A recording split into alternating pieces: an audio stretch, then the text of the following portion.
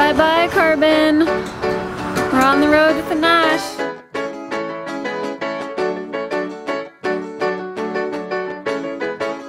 Hello, everyone. Jesse and Melissa here with Adventure Endeavor.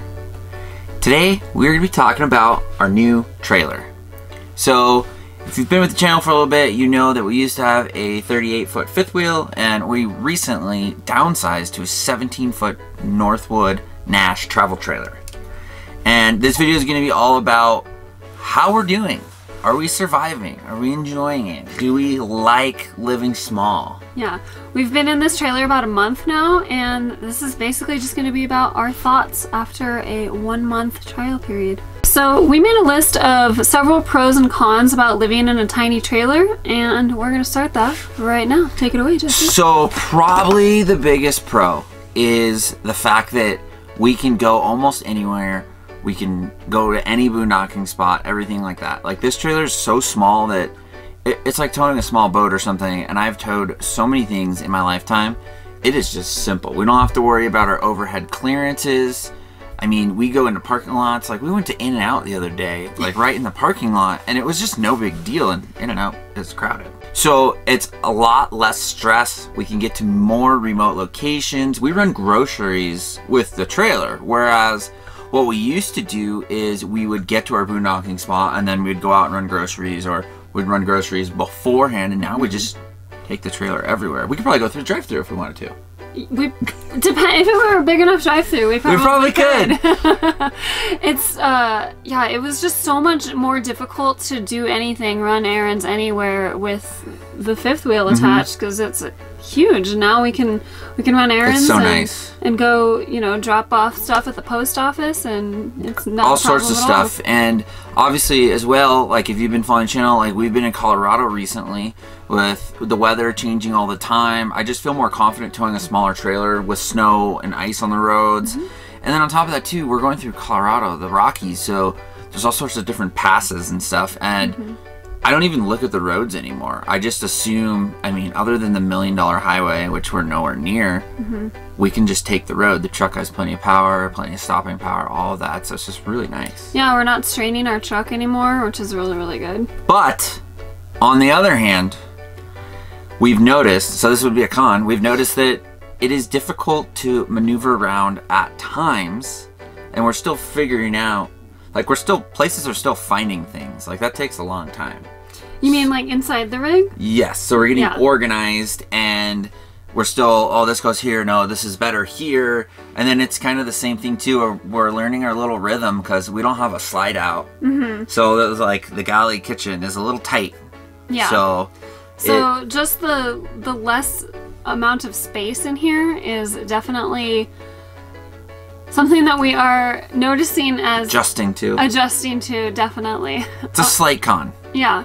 but it hasn't been that bad. But that's that's going to be the biggest trade-off with going from a large rig to a small lit rig like we just did. Um, you know, we're adjusting to it, but we are definitely realizing that we had way too much stuff in the fifth wheel and so we're getting by with much less and we don't really need as much stuff as we used to have. I would say overall that uh, the pros outweigh the cons kind of in that category. Another thing that's been a huge benefit of having this tiny rig is that mooch docking is so much easier than it used to be.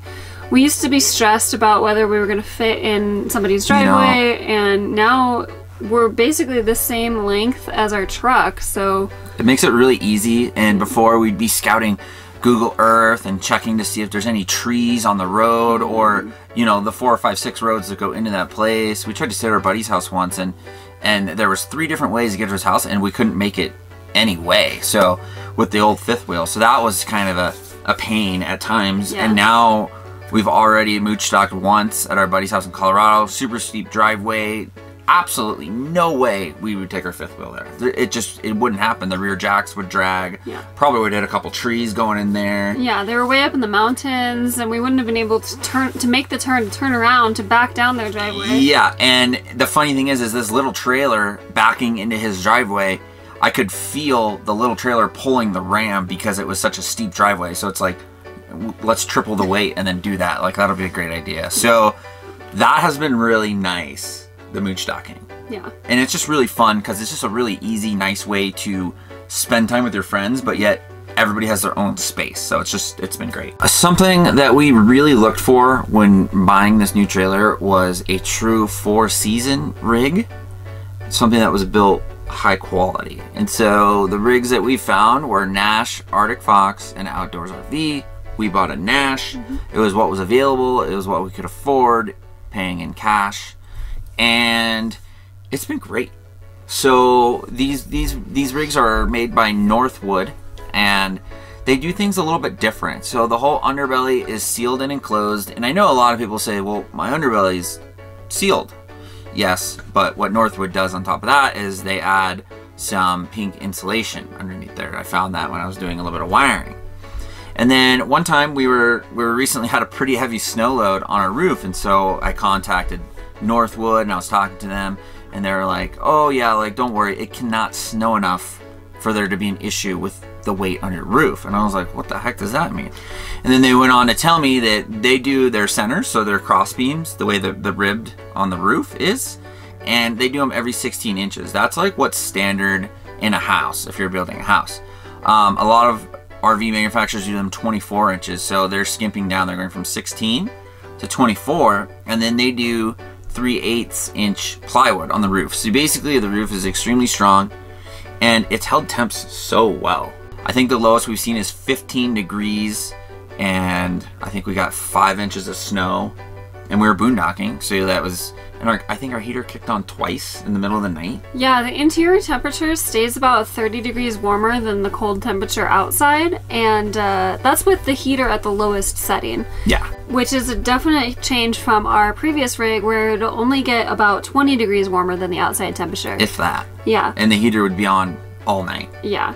And so it's definitely less drafty, it's really well insulated, and not having a slide in here means that we're not losing heat out of that slide. Yeah, the the slides obviously there's a frame and they put rubber seal on each side, but when you have a slide, air is going to leak out of there no matter what, no how no matter how well the slide is.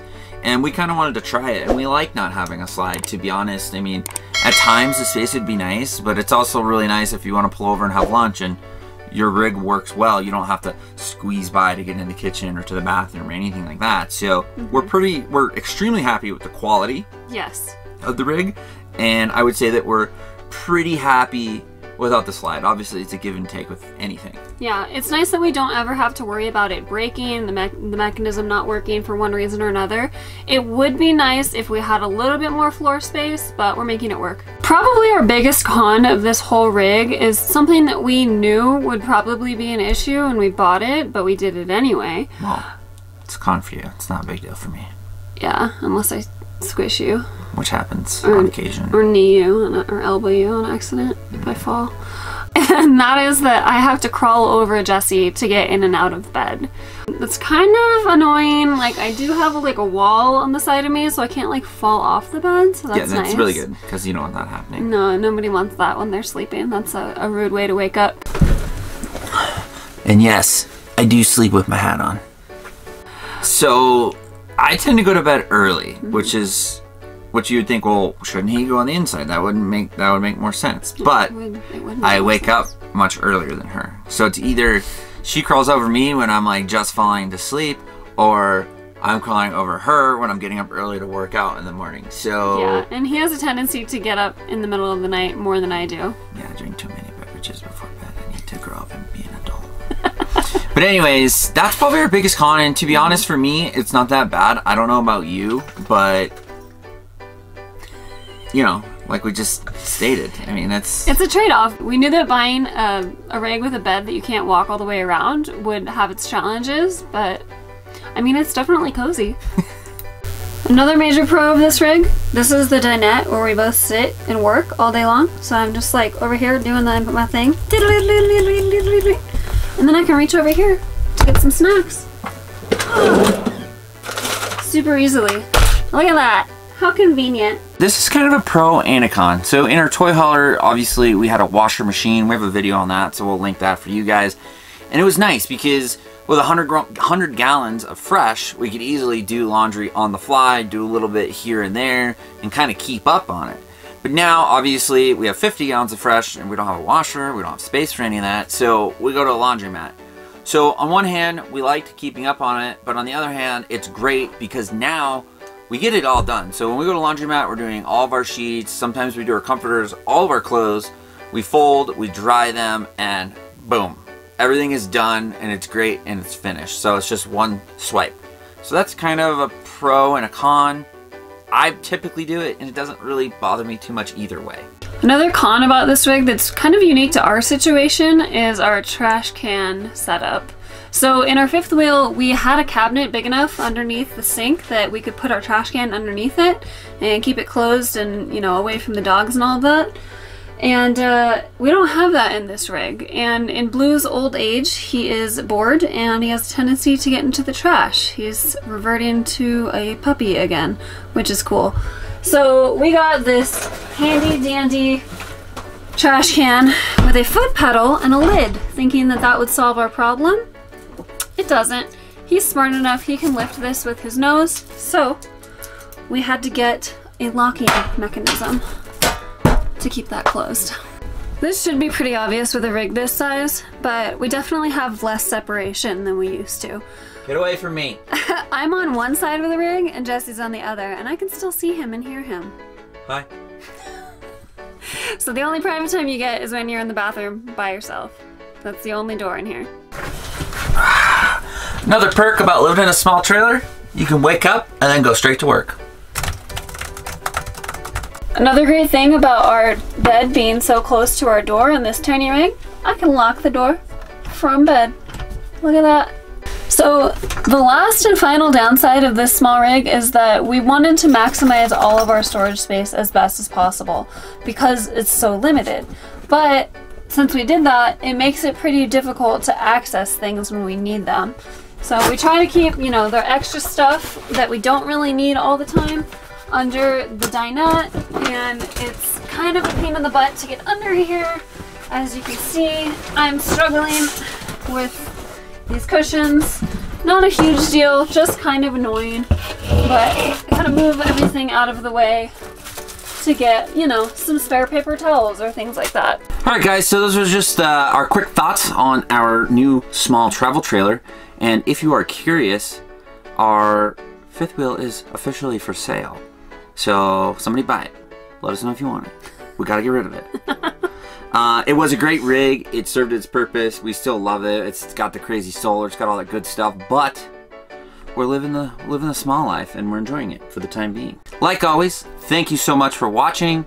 Don't forget to subscribe and let us know if you have any questions or concerns or comments, or just leave them in the comments. Talk to you later. Thanks, guys.